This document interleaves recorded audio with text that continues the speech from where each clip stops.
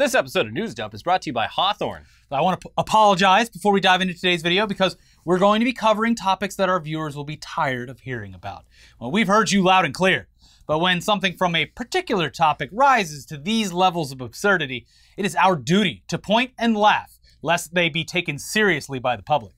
I assure you that it was not my intention to start today's episode off with news about crypto assets. God damn it. And we will do our best to ignore that aspect of it because there's more to it than just existing in the NFT space. Okay, so there's more? Though it is funny that two NFT projects in particular were launched specifically when the entire marketplace has crashed with no signs of real recovery on the horizon. Great timing. Excellent timing. Now, before we talk about the giant vagina in the room, Madonna's vagina, we do have to bring up a project whose timing in the space actually it feels poetic. It's it's it fits the subject matter. Yeah. Um, it is the perfect, the perfect way to launch an NFT if what the NFT is portraying is clumsy, absent-minded, um, and shows know, up at the perfect just always in the wrong place at the wrong time. Just always has like uh, unfortunate things happening to it. That's right, folks. Right in time for a nearly 99% loss in interest in the digital collectibles market and a drastic devaluation of the assets that these tokens are backed by. Mr. Bean has stumbled into the NFT space with perfect comedic timing.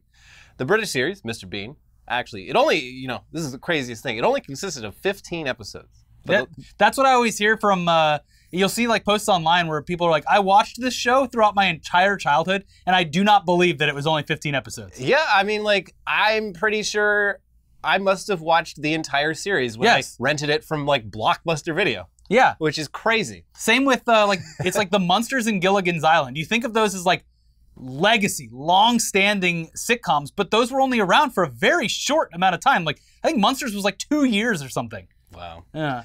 But yeah, I mean, despite that limited uh, screen time, Mr. Bean has a legacy. The legacy of Mr. Bean has cemented in, it- it's been cemented in British pop culture history and also like has It- a lot of fans around the world. It transitioned over into America pretty seamlessly. I mean, they made the when they made the Mr. Bean movie, it took place in the United States. Yeah, we love uh, a chaotic oaf. Yeah. but now, at the worst possible time to get involved in the NFT space, Mr. Bean has done just that. And yes, the art is cheaply done, uninspired. It looks like something you'd create in an online avatar creator. It's not good. It's a, it's apparently uh, pretty similar to uh, a Mr. Bean cartoon show that exists, but uh, it still doesn't look like something anyone would want to collect. Okay. Yeah, the project was launched with a company called FOMO Labs. Big red flag there. I'm not sure I would uh, trust a company that literally names himself FOMO. If you don't get in these uh, Mr. Bean NFTs as soon as possible, you are you're gonna feel like you really missed out. Yeah. Um, so yeah, kind of a red flag. And uh, so the Mr. Bean NFTs they will be available to members of the Bean list sometime next week before being released to the public. So uh, if you're not on the Bean list, you might already be missing out. Is it using its own token called Magic Beans? It should be. That, that would be very I on think nose. I think unfortunately it's actually backed by Ethereum, which is uh, as we've pointed out many times Come before, uh, terrible for the environment. Yeah. There are plenty of other uh, worthless tokens you could back this by, but whatever. Uh, I think one tweet in particular sums up the Mr. Bean foray into the crypto space. So we'll let this user, named the Guillotine Implier, That's such a good name. get the last word on, on why this is so funny. The Mr. Bean NFT rules because it's extremely in character for him to come bumbling into the scene right after a catastrophic market crash. yeah. All right, with that out of the way, let's talk about Madonna and uh, her recent resurgence in notoriety thanks to some pretty odd TikTok videos, which uh, has all somehow led to the world being able to watch her grow a tree out of her digital vagina. Now, if you haven't checked in on one of the biggest pop stars of the 1980s, you might be shocked to see some of her content, which almost entirely consists of close up videos of her face while either her own music or whatever song is popular on the platform plays in the background. It's it's literally just her staring into the camera. This woman is Um, almost 70 years old, and I, I do got to hand it to her. She has remained, she has forced her way into relevancy for. At various times throughout five her decades yeah, now. she had big resurgences in the 2000s. Uh, she kissed Britney Spears, Yeah. another person who makes chaotic social media videos. That one from like the early 2000s that sampled ABBA. It's a Mhm. bop. Yeah, Still play it at weddings. But yeah, you could probably consider all these TikToks to be performance art or something. It is a bit odd in the same way that Britney Spears posts over the years have come off as a bit odd, with a, a lot of similar comments being posted, which range from "Are you okay?" to "Everyone shut up and let her do her things." Yeah. And we understand that specifically regarding Madonna, it's probably difficult to be an aging pop star who was also a sex icon for a majority of her career. She released a book called Sex in the early 90s. She did. Mm-hmm. Uh, so we- we're look, we're not trying to judge the what appears to be extensive plastic surgery that she's had done, but it's easy to see why someone would be a little freaked out seeing any of her latest videos after maybe not seeing her in a couple years. I wonder what Madonna's up to. Oh, Oh, God. she is 63 years old, for Christ's sake. I mean, she would look probably a lot different if she was aging naturally without the help of plastic surgery. And I mean, to her credit, she does stay. She uh, she puts she works hard. It's not just going under the knife. She she stays in shape. She stays in shape and uh, She takes she's, she's very proud of her body, Yeah, uh, clearly. So, look, all for po- body positivity, and uh, it's just the videos are odd. She's just staring into the camera. yeah. It's uh, very like, hello, fellow kids, I'm on the app, but also like uh, it feels like a really dark Tim and Eric sketch at some points. That Madonna, she's so random. Do kids still say call everything random like they did 20 years ago? I don't, I don't know. 'Cause that Actually, was that, that was that was cool. well, It's now that so like, random. the '90s are having a big resurgence, so like the second yeah. peak of Madonna's career is also probably on their radar. Yeah. Anyway, Madonna's still trying to shock people, and on the heels of her oddly received resurgence online, she has collaborated with arguably the most famous artist in the NFT space for a set of digital collectibles that feature the singer giving birth to insects and a very large tree. Here's The Independent with more. Fans have shared their confusion at Madonna's newly unveiled 3D model of her vagina, which features in a fully nude collection of non fungible tokens. The pop singer has partnered with digital artist Beeple to produce a trio of NFT videos titled Mother of Technology, Mother of Creation, and Mother of Evolution, which feature an up close display of her vagina giving birth to insects, butterflies, and trees. While the video graphics are being auctioned off, with proceeds going to three nonprofits that focus on supporting women and children worldwide, they are currently available to view online. And by the way, you, there you can literally right-click Save As on these videos. They're not Yeah. even in any kind of protected media player. Yeah. So they're yours to keep, That's that's your video now. but you don't own the real one, Yeah. aka the receipt. In a statement, Madonna explained that, quote, all works were conceived with a 3D scan, and that she, quote, wanted to investigate the concept of creation, not only the way a child enters the world through a woman's vagina, but also the way an artist gives birth to creativity. And look, at the very least, she she claims the proceeds are going to charities that support women and children. So I, I guess that's the silver lining here, outside of the fact that both the Madonna and Mr. Bean NFTs are on Ethereum, which is still notoriously terrible for the environment. Um, it's just that I, I that's the one out of the remaining coins that NFTs are backed on that have has any kind of remaining value. I guess is There's the value reason. Value and utility, and there's Yeah. a big a big enough network to support it, I guess. But Um, yeah, so I think the one with the tree sold for like three hundred thousand. Uh, the one with I think either the caterpillar or the butterflies uh, sold to like a a crypto uh, money transfer service. So I, they, maybe they're doing some marketing. That's with it wild because if this was even six months ago, it probably would have gone for Millions. Millions, yeah. Well, that's the thing is if uh, you know if Madonna holds on to these tokens and doesn't give them to the charities right away, why those charities could get millions or they could get nothing, but she they could, also get she millions. Could convert them to a stable coin Mhm. and earn, you know, twenty percent interest just by keeping it on an exchange. we all know Madonna loves up. pegging when it comes to stablecoins. She does. Yes. But speaking of computer generated art, Kendrick Lamar released his latest album, Mr. Morale and the Big Steppers, on Friday this week. And the album covers a lot of difficult topics with incredible beats and lyricism. But Yeah. in the lead up to the release of the album, Kendrick dropped a music video for the song The Heart Part 5. And in the video, Kendrick's face shifts seamlessly between other prominent or controversial black celebrities like O.J. Simpson, Kanye West, Jussie Smollett, Will Smith, Kobe Bryant, and Nipsey Hussle. Um, it's pretty unsettling how realistic and believable this all looks. Uh, we haven't seen a deepfake video look this believable since the release of Sassy Justice from the creators of South Park, which features a fake investigative reporter who is literally a deep fake of former President Donald Trump. And if the quality and level of production skill necessary to pull off something this believable looks familiar, that's because the Kendrick Lamar music video was actually produced by South Park creators Matt Stone and Trey Parker using the same studio that they've developed uh, specifically for this kind of deepfake technology called Deep Voodoo. Uh, which uh, reportedly has a team of at least 20 people working specifically on deepfake technology and productions. And in an article written after the launch of Sassy Justice, the New York Times wrote, Sassy Justice is partly their attempt to educate their viewers about deepfakes and demystify a potentially terrifying subject. Quote, before the big scary thing of coronavirus showed up, everyone was so afraid of deepfakes, Stone said. We just wanted to make fun of it because it makes it less scary. That's one way of looking at it. Sure. So the music video also fe- uh, appears to just be the beginning for the collaborations between Matt Stone, Trey Parker, and Kendrick Lamar, as it was announced all the way back in January of this year that the trio were going to produce a feature-length movie together. Mhm. Uh, here's what Variety said at the time. The Grammy-winning rapper Kendrick Lamar's PG Lang Company has teamed with Matt Stone and Trey Parker's Park County banner to produce a new feature film for Paramount Pictures. The live-action comedy, written by Vernon Chatman, will depict the past and present coming to a head when a young black man who is interning as a slave reenactor at a living history museum discovers that his white girlfriend's ancestors once owned his. Hijinks ensue, I Oh, assume. yes. Uh, Lamar and PG Lang partner Dave Free will produce the project alongside Stone and Parker. Um, sounds like a fun romp. Yeah. Uh, but yes, the, the music video is incredible. The way it like transitions and how perfect it looks. It's Yeah. pretty crazy.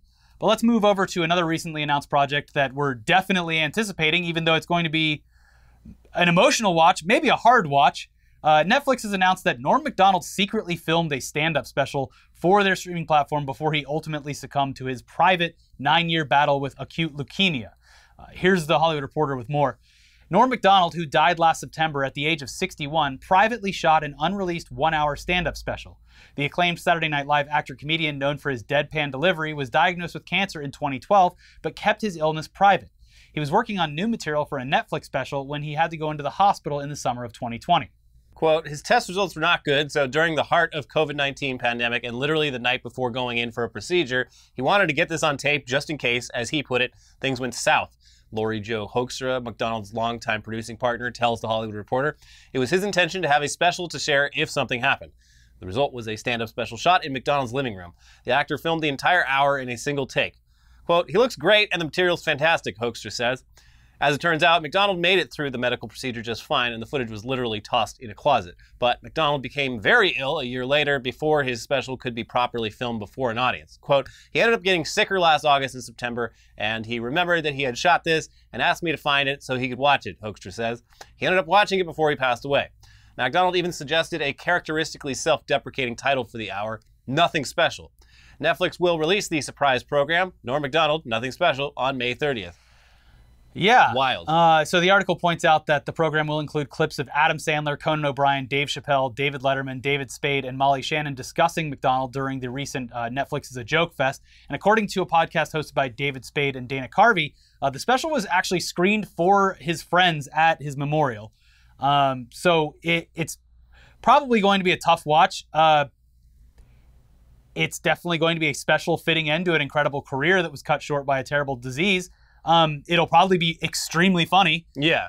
Uh, and again, it's hard to segue out of a story like that. But while we're on the topic of Netflix, it looks like the company is uh, already trying out some new features to potentially keep subscribers or reel in some new ones. Um, here's another one that we didn't think they would probably ever do, uh, including their admission that they might be doing ads. Uh, it looks like they're going to try live streaming. Fuck it. Yeah. So while the company says that their live streamed offerings are still in the early stages of development, it's certainly an interesting way for the company to embrace a community aspect to content consumption. And we're sure that this is just an option with the content being, uh, I would assume, available for streaming at any point immediately following the live stream. Yeah. But still, it'll be interesting to see exactly what type of content they think is going to bring in a large live audience when anyone could just watch something at their own leisure instead. Mm-hmm. Uh, currently, the only thing worth watching live aside from Twitch streams is big events, award shows, sports, Yeah. that kind of thing. And even those numbers are constantly dwindling in a lot of cases. Um, here's Deadline to explain.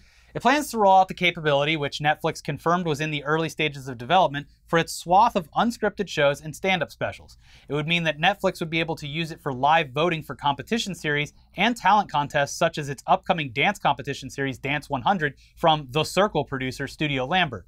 Similarly, it could use it if it decides to bring back its Netflix is a Joke Festival. The live comedy event featured around 300 stand up performances across LA, including Dave Chappelle, Larry David, and Pete Davidson. Many of the shows were being filmed with plans to air around 12 of them on the service. In the future, it could potentially air shows live, albeit with a few seconds delay in case things get saucy. Other options include for live reunions for shows such as Selling Sunset, which just aired a reunion special for its fifth season. The move opens up the potential to order a whole new raft of unscripted series to use the technology, bringing it into line with the linear networks, which often air live specials for big competition series such as ABC's American Idol and Dancing with the Stars, which is moving to Disney Plus. Oh. Um, so yeah, they, this is Deadline saying that it could be used for Netflix as a joke. It seems like Netflix is kind of just leaning more towards reality series and competition series. Yeah. Uh, so yeah, it looks like for the time being, it's just going to be live streaming stuff uh, that we don't really have much interest in. Though a live stream of their comedy festival w- it would be cool. Um, and by the way, they could have seen that tackle happen live. I was just going to point out uh, the Dave Chappelle shows weren't filmed.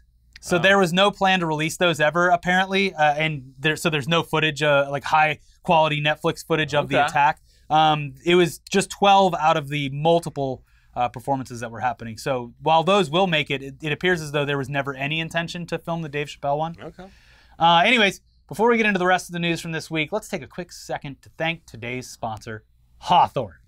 Have you ever wondered how your favorite athletes ensure that their grooming products are up to the task? They use Hawthorne. Steph Curry says he can't live without their body wash, and Zach LaVine chose their quiz to tailor his perfect cologne.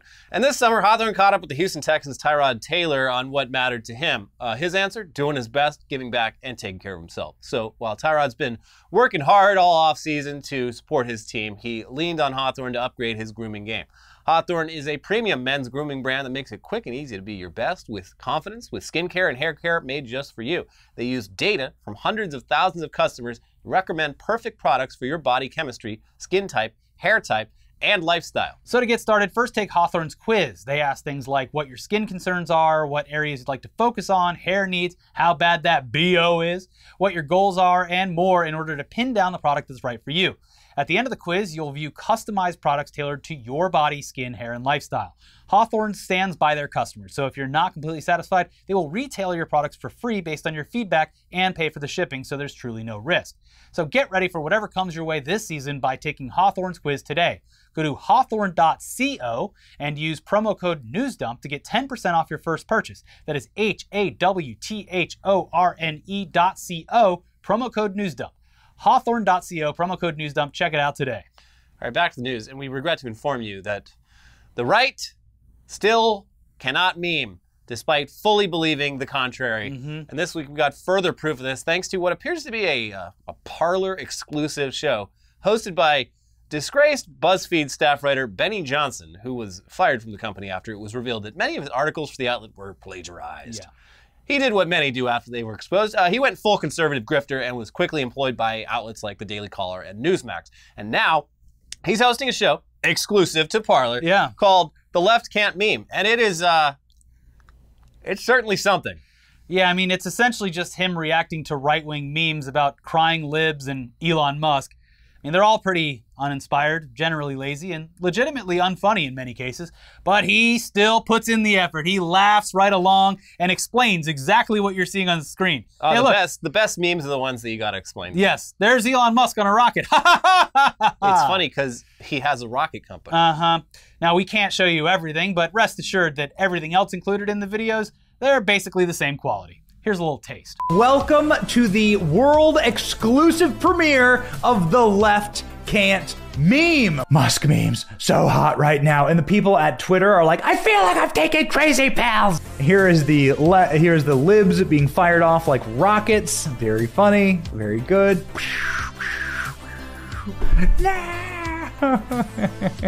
uh, here's here's Elon whipping people out of the, the temple that is Twitter. triggered Rhapsody. Triggered Rhapsody. Very good. Queen reference. The triggered people screaming. re the re rocket. Yes, of course. Classic. Uh, but speaking of Twitter, though, looks like, and again, I'm sorry we have to talk about this. It looks like Elon Musk might not want Twitter after all. Okay. Okay. I'm tired, I'm exhausted, and I want to stop hearing about him. And we did bring it up on this week's episode of Tech News Day, but uh, he's probably having a little buyer's remorse after offering them 40 something billion dollars. And he could have just waited a few weeks and saved a ton of money thanks to the entire tech sector crashing in Yeah, value. I mean, he he pitched them what was widely seen as an overvalued uh, amount at the time, and that was uh, before an entire month of just like stock market death spiral. yeah, and it's because he wanted them to just sign it over immediately. yeah, Yeah. Well, Uh, either way, he seems to be mm, rethinking his big idea to buy out the social media website. And uh, he's blaming his second thoughts on bot accounts, which is clearly something that he was well aware of before securing that funding necessary to buy Twitter. Because one of his goals from the start was getting rid of bot accounts. yeah. Also, uh, I don't know if this is still the case, but for a while there, the vast majority of bot accounts that you saw just scrolling through Twitter were, uh, uh, you know, fake Elon accounts. Yeah, supporting trying him. to like scam people in like crypto scams. Yeah, it was a lot of companies buying positive feedback. Amazon had a big one. Oh yeah. Uh, anyways, here's uh, the latest on all of this from Reuters. Elon Musk tweeted on Friday that his $44 billion cash deal for Twitter was temporarily on hold while he waits for the social media company to provide data on the proportion of its fake accounts. Musk, the world's richest person, decided to waive due diligence when he agreed to buy Twitter on April 25th in an effort to get the San Francisco based company to accept his best and final offer. This could make it harder for him to argue that Twitter somehow misled him. Since Musk inked his deal to acquire Twitter, Technology stocks have plunged amid investor concerns over inflation and a potential economic slowdown. The spread between the offer price and the value of Twitter shares had widened in recent days, implying less than a 50% chance of completion, as investors speculated that the downturn would prompt Musk to walk away or seek a lower price. Twitter deal temporarily on hold pending details supporting calculation that spam slash fake accounts do indeed represent less than 5% of users, Musk told his more than 92 million Twitter followers. Or is it that many? yeah, who knows? That's probably, probably what he's angry about. Uh, under the terms of Musk's contract to Twitter, he is entitled to ask the company for information on its operations following the signing of the deal, but this is meant to help him prepare for his ownership of Twitter, not to carry out due diligence and reopen negotiations. It's like he's trying to buy a, a house in the red hot housing market that's existed over the past five years or so. No contingencies, Yeah. no inspection.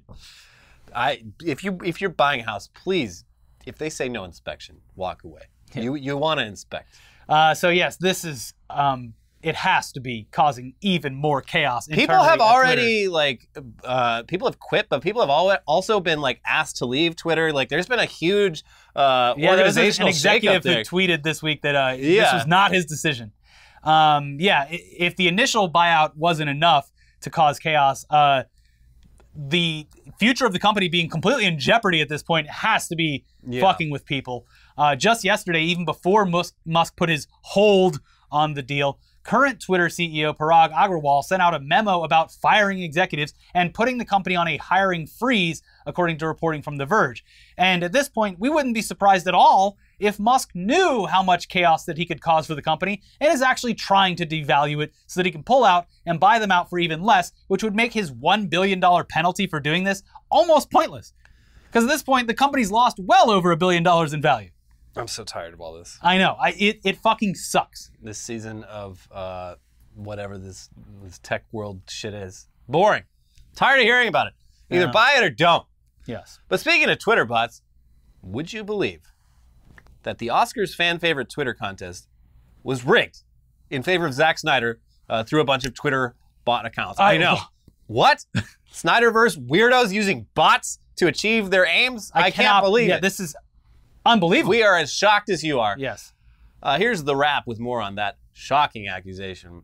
The Wrap has learned that the Academy's fan favorite and cheer moment awards, the Twitter polls allowing regular folks at home to vote online in the weeks ahead of the March 27th ceremony for the for their own best picture of choice as well as their favorite movie moment of all time, appear to have been rigged by automated online bot accounts backing the work of Justice League filmmaker Zack Snyder. The reporting goes on to say that that, that uh, two reports from Tweetbinder, a hashtag analytics tool, show that the most active contributors to the polls for hashtag Oscars fan favorite and hashtag Oscars cheer moment appears to have been automated bot accounts that cast thousands of fake votes. Vanity Fair unpacks the expose further by adding that the Wrap also pointed out some weird anomalies in polling, including significant one day spikes in voting, such as a February 27th leap to 25,000 votes after weeks of daily totals between 4,000 and 15,000. Okay, yeah, that's a little bit weird. Yeah, again, we are We are shocked. I can't believe it. I cannot believe. Say it ain't so. Yeah. Uh, uh, honestly, appalled that the, the greatest institution for film credibility, the Oscars, could fall victim to such obvious deception. It really paints the Oscars in a negative light, a, a firebrand that has done nothing wrong in recent years. This is the most controversial thing to happen to the Oscars in as long as I can remember. Did you see the rumor that uh, Dwayne the Rock Johnson is replacing? This is a rumor that is replacing Will Smith as the genie in, in Aladdin, I did not see that. which is real rich considering the Rock built his career on He- slapping people Yeah. The- I- in I- front of thousands. hundreds of hours of footage The Rock assaulting Yes. other men. So I don't know what's going on Yeah. internally at Disney, but they're clearly blind to these severe Yeah. problems. Wow. Uh huh. I can't believe it. I'm shocked by so many things in the movie industry, but this week in particular. Anyway, we'll leave you with some fun stuff for the weekend. Yeah. Look to the skies on Sunday night because we're getting a total lunar eclipse that is, it's going to make the moon look blood red. Hello, vampires. Hello, werewolves. Ooh. Get out there and see the spooky moon. So, according to Earth Sky, a partial eclipse will begin at 10:27 p.m. Eastern Time Sunday, with the total lunar eclipse starting at 11:29 p.m. Eastern Time, and the whole process will last until around 2 a.m. Eastern. According to CNN, people in South America and in the eastern part of North America will have a great view of the lunar eclipse. The total lunar eclipse will be visible in much of Africa, Europe, and South America, and most of North America. Uh, Yeah, I, I, uh, West I don't like the sound of that. West Coast going to be a little difficult. Sorry, everybody. Where my lunar eclipse? Exactly. After all we've been through this week, we deserve to see the blood red moon. Where's my lunar eclipse? Uh, I want a lunar eclipse, Daddy, and I want it now. We're going to have to fly to the East Coast. Gah. Yeah, we might be out of luck here on the West Coast because, uh, well, for one reason, it won't be fully dark yet by the time No. it starts, and uh, the positioning of the moon uh, also a little bit difficult that I early. might have to get up on a very big hill. Yes, climb, uh, get on top of a building, and just hope Yeah. that it gets dark out. Um, though, yeah, I mean, during the peak, it might be worth checking out. It will be dark then, but it's still not going to be as cool as uh, what everyone on the East Coast is seeing. Well, enjoy it. Also, uh, they they finally did another West Coast launch uh, for SpaceX or whatever this today, Oh. but they did it in the middle of the day. You can't even enjoy it. Can't even see the weird contrails that everyone thinks are UFO, UFOs every single time. The, it. We should there should be a law that says you can only do rocket launches at night when they look really cool. Yeah, I agree. Anyways, that's it for this week's episode of News Dump. Uh, l- we have two uh, very fun for the wrong reason episodes. Schadenfreude. Yeah. Um, one is uh, our complete coverage of not just the crypto collapse, but specifically uh, one of the things that caused it the Luna Yeah. and uh, stablecoin chaos and the resulting outcry after that. And yeah, all of our numbers that we used in it are, are wildly inflated compared to now. Uh, that shit is even more worthless than it was. By the time at the video went up, it was like 0.00003 Yeah. or something like that. And then, of course, by the time the video went up, uh, there were uh, people like, "You guys are stupid. I bought the dip, and now look at look at the crypto numbers." And it's like, yeah, they were green, but if you literally, as they keep saying all the time, zoom out. If Yeah. you zoomed out to like three months, six months, even a year, it's still down significantly. And then today it was down again. So like, yeah. good for you if you. Uh, buy your, the dip and see it's the your money. Exactly. But uh, needless to say, huge collapse in the crypto markets. Also, a collapse that happened a year ago, but we're finally seeing the inside details of. Then, the MTV for gainer, gamers, and uh, all of the stuff that uh, failed over at that company, which were painfully obvious to anyone who's worked in the industry. Check out both of those episodes over here. Subscribe to the channel, hit the join button, hit the bell, leave a comment, and we'll be back soon for some weekly weird news. See you then. Bye.